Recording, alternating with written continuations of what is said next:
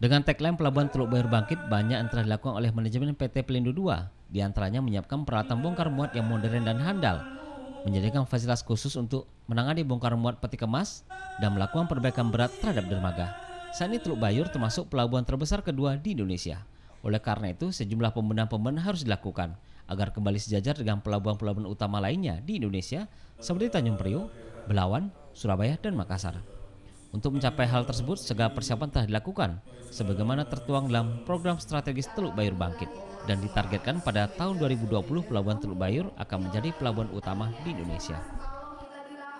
Tentu saya tidak pernah berhenti untuk menyampaikan program kita tentang Teluk Bayur Bangkit itu agar semakin dikenal oleh semua lapisan masyarakat yang ada di Kota Padang ini khususnya dan Sumatera Barat pada umumnya.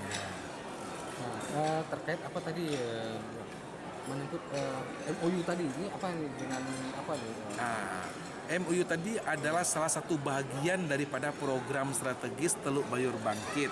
Kita ingin melakukan penataan terhadap moda angkutan barang dari dan keluar Pelabuhan Teluk Bayur. Kita ingin memastikan ketersediaan dan kecukupan armada angkutan itu untuk menunjang kelancaran kita bongkar muat.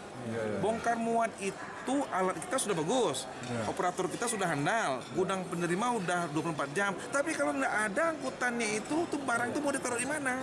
Kita ingin pastian. Jadi dari satu siklus kegiatan bongkar muat itu atau production line-nya itu kita pastiin semua Dari Padang, Budi Sunandar, Ainis melaporkan.